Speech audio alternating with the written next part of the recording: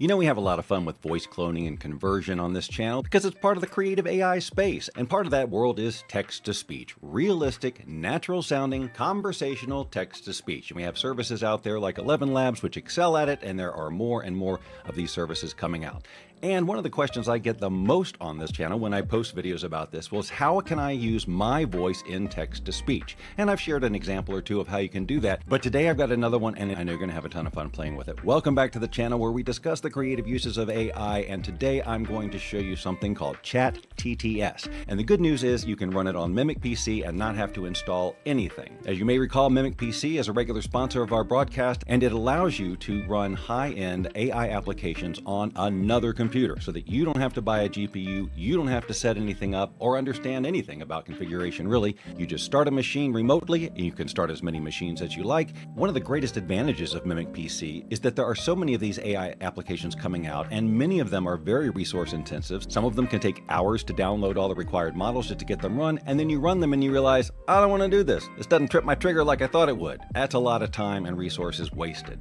Whereas with Mimic PC, you can log right in and choose from any of these current, really popular AI apps and set up virtual machines that you can run for literally pennies. ChatTTS is just one of these applications. So if we want to run it, we simply click it and we click on Get Started. Then we're going to choose what kind of machine we want to install this on. I've become a real big fan of using the Large Pro. It's $1.19 per hour, and the speed you get with generations is so far worth it. In some of the applications I've tested, I get double the processing speed for just about everything I do from the Large, and it's only 20 cents more. So I'd highly recommend, not overthinking this, go for the Large Pro if you're serious about generating in an efficient way. I'm going to click on Large Pro, and the other thing I highly recommend whenever you set up a machine on Mimic PC is to click the automatic extension. That way, if you're running a process and you walk away because it takes a while, your machine won't stop on you and then you have to start over or join it in the middle or whatever. It's easy enough just to set an automatic extension and it will just add 30 minutes every time it runs to it. Of course, you can stop it at any time, but I always try to remember to do that. Then I click on create and start and then it takes about two, two and a half minutes to set up this machine. And I'll reiterate, you are not charged for any of this setup time. Here's our interface. We're going to have so much fun with this. I can't tell you how much time I spent yesterday playing with this. First of all, let's move this out of the way. We don't need that that on the screen anymore because we're not dealing with any of that stuff. All right, so don't let this intimidate you. It's actually pretty simple, and there's just a few things you're going to play with. Right out of the box, this thing is ready to go with seemingly an infinite amount of different voices that can be used with your script. One of the things that is cool about this is that it will take your text and if you want it to, it will actually refine it and put in certain effects that it deems appropriate for what you've written. It might change the words, it might add breaks, it might add laughter, or you can turn that off and it can say exactly what you want it to type. So let me just show you if we do nothing else, we just load the program. It comes with this, what is your favorite English food? And I don't type anything else and I just click on generate. Let's see what we get. What is your favorite English food? Okay, it actually cut off food there. Let's give it something that's way more interesting. If you subscribe now, I will not follow you. I will not pursue you. But if you do not, I will follow you. I will find you. And I will give you the biggest bear hug you ever had. Let's also change up the voice a little, and there's several ways you can do that. And don't worry, I'm going to show you how to use your own voice in here with just a 10 second audio sample. But first, let's look at this stuff. Under timbre, we have nine different choices. Let's see what happens if I click timbre number six. You'll see that the audio seed changes. Let's just click on generate and let's look at the text here. You'll see that we have refined text here and what its output is if you subscribe now and then it's inserted UV break. Still haven't found out what UV stands for. I will not follow you, UV break. I will not pursue you, UV break. But if you do not break, I will follow you, break. So it's putting in logical breaks based on what I'm saying, and that seems completely appropriate. So let's listen to this. If you subscribe now, I will not follow you. I will not pursue you. But if you do not, I will follow you. I will find you. And I will give you the biggest bear hug you ever had. Awesome. This button right here allows you to randomize these values. So let's do that real quick. And now click on generate again. So far it hasn't changed any of the actual words, just put in those breaks. Let's listen. If you subscribe now, I will not follow you. I will not pursue you. But if you do not, I will follow you. I will find you and I will give you the biggest bear hug you ever had. That's pretty nice. That's really nice and conversational. So, what is this audio temperature? Now, you heard what that sounded like. I'm going to crank this all the way up to one, and now let's generate again and see how the audio sounds different. If you subscribe now, I will not follow you. I will not pursue you. But if you do not, I will follow you. I will find you. And I will give you the biggest bear hug you ever had. So there's a little more emotional fluctuation going on there. Let's turn it all the way down, or at least really low, and click on generate. If you subscribe now, I will not follow you. I will not pursue you. But if you do not, I will follow you. I will find you. And I will give you the biggest bear hug you ever had. So way more subdued and just not as modulated. We can just keep choosing different timbres, randomizing the audio seed and getting different results. So I'm going to put the audio temperature back in the middle. Just for fun, let's see if we can force a laugh right here. In brackets, I'm going to write laugh and generate again. If you subscribe now, I will not follow you. I will not pursue you. But if you do not, She just kind of gave a Let's randomize that seed again and generate. Let's randomize the text seed a little bit and see what happens. And click generate again. And I'll do another voice too. I wasn't real thrilled with that voice. And next we're going to do custom voices. If you subscribe now, I will not follow you. I will not pursue you. But if you do not, I will follow you. I will find you. And I will give you the biggest bear hug you ever had.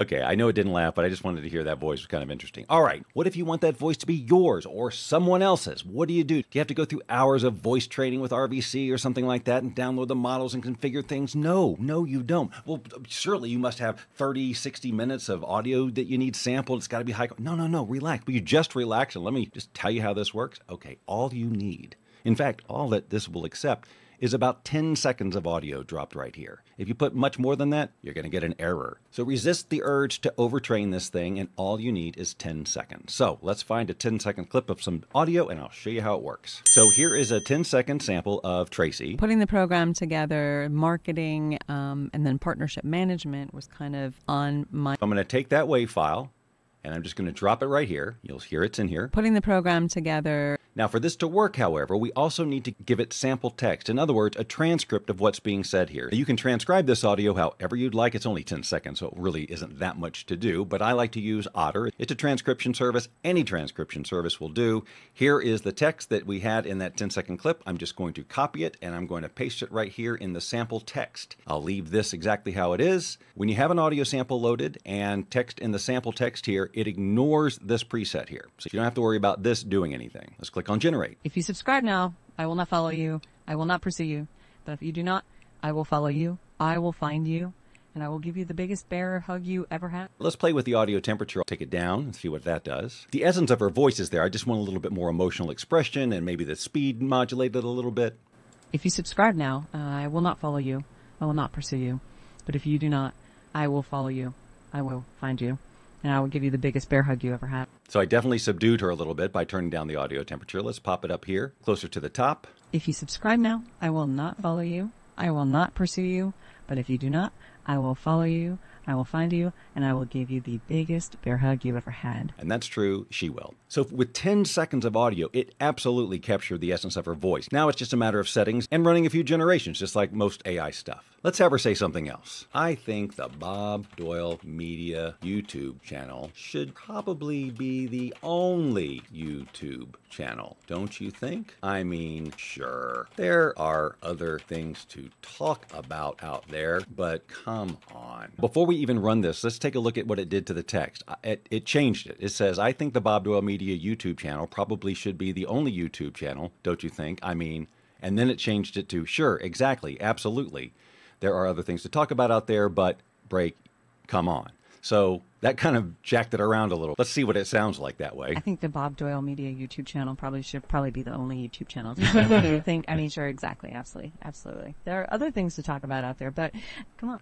Okay, that's kind of weird. That oh, of course, I had the audio temperature way up there. Let's bring the audio temperature back down to normal. And just for fun, let's change the text seed and click on generate. You'll notice that it did change this again. Sure, really, really. So I'm probably going to turn the refined text off.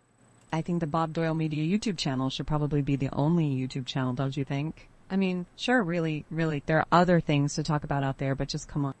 Okay, let's turn off refine text, and this way it will say exactly what I typed. I'll turn up the audio temperature to maybe here. Since we're not letting it refine the text, why don't we just go ahead and try to put another laugh in here? I think the Bob Doyle Media YouTube channel should probably be the only YouTube channel. we think, I mean, sure, there are other things that I got out there, but come on. Let's see if we can make her scream. I think the Bob Doyle Media YouTube channel should probably be the only YouTube channel. Aaron, scream. So what do you think I mean? Okay, Scream didn't work. I wasn't able to find a list of all the things you could do, but I will say that there is documentation here in the GitHub repo. You're just going to click on that link up at the top, scroll down a little bit, and you'll see if you click here where it says Awesome Chat TTS, even though the interface isn't exactly the same, as you can see, you'll learn more about what these text controls do and what everything means, so you'll know how to experiment with more intelligence. So I do want to see if it'll make her cry. I think the Bob Doyle Media YouTube channel should probably be the only YouTube channel. Yeah, take that crowd do you think? I mean, Sure. there are other things to talk about. Okay, that's weird. It's almost like it's putting some dialogue in there. Let's do another voice. I've used my friend Rob's voice on this channel several times because he's a good sport too. He sounds like this. And, and speaking of online things, my sister told me today because you, well, actually, you now you get your glass. So, so once again, I brought that audio file into Otter, got the transcript, come over here, upload that audio file to ChatTTS, paste in that text, and generate. I should have taken that cry instruction. Oh, no. I think the Bob Doyle Media YouTube channel should probably be the only YouTube channel. Hmm, it seems to have cut off there. Let's take out this cry. Let's randomize the text seed one more time. We'll take the audio temperature down to about the middle. We can play with this top P and top K control. The P controls emotional relevance and the K controls emotional similarity. Do I know exactly what that means? Nah. But we'll play with it anyway because it's not gonna break anything. I'll put top P up, I'll put top K down, I'll click generate. I think the Bob Doyle Media YouTube channel should probably be the only YouTube channel, don't you think? I mean, sure. There are other things to talk about out there, but come on. Yeah, okay. I don't like the impact that those changes made on the emotional expression. I'm going to put these guys back down to where they were ish, pop up the audio temperature, and why not just refine text just for fun? I just want to see what it'll do. Click on generate. I think the Bob Doyle Media YouTube channel should probably be the only YouTube channel, don't you think? I mean, and then now they put in pretty sure and then a break and then uh huh, almost like someone else is responding. And when we listened to that last clip, you might have heard it was almost like another voice was trying to pop in. Let's just see what we got here. I think the Bob Doyle Media YouTube channel should probably be the only YouTube channel, don't you think? I mean, pretty sure. Uh, uh, there are other things to talk about out there, but come on. No, no, I want more, more emotion. Crank that audio temperature up. I think the Bob Doyle Media uh, YouTube channel should probably be the only YouTube channel, don't you think? I mean, pretty sure. Uh, uh, there are other things to talk about out there, but come on. I'm going to move up the top P value. I'm going to leave the top K where it is. And no, I don't know why. I'm just doing it, okay? I think the Bob Doyle Media YouTube channel should probably be the only YouTube channel, don't you think? I mean, sure, there are other things to talk about out there, but come on. So in that case, everything's just kind of run together. But let's be real. This is source material, just like a lot of AI tools. They create source material. An AI generated video may be 80% usable and 20% not. Well, that's what editing's for. You don't throw out the whole thing just because 20% of it isn't perfect. You regenerate. It's just like if you're filming an action movie or if you're doing a voiceover in a booth. You do multiple takes and you take the best of each. So perhaps there was a part of that read that sounded really good, but I didn't like the emotion of the second part of the sentence, so I just rerun it. I don't go, oh, this tool doesn't work. No. It's like you're giving the voice actor direction. Hey, could you try it this way? Could you try it this way? And while we can't exactly give it that kind of direction, it costs us very little to rerun these generations and get the bits and pieces we like. Now, if you're not a patient producer, then AI tools in general probably aren't for you because you're going to want everything to happen instantly. Well, for the rest of us who are used to working in a regular production environment where editing and creativity and making creative choices are part of your day, then you can see the value of something like this. You're creating voices out of nowhere that have a very conversational tone, and you can actually use familiar voices and it sounds like them without the necessity for hours of any kind of audio or voice cloning training. So it's a really fun tool and it can be actually very useful for you depending on what your creative job is and what kind of assets you need. And the ability to run this on a remote computer without having to worry about installation and all of that stuff is a huge boon because you can just use it for the amount of time you need it. You could pop on, generate something, download it, be done with it, stop the machine. You've spent pennies and you haven't used any of your own computer resources to do it. Super helpful. If these are the types of tools you like to learn more about, well, just keep it right here and subscribe because these are the types of things we talk about all the time. If you subscribe now, I will not look for you. I will not pursue you. But if you do not, I will look for you. I will find you. And I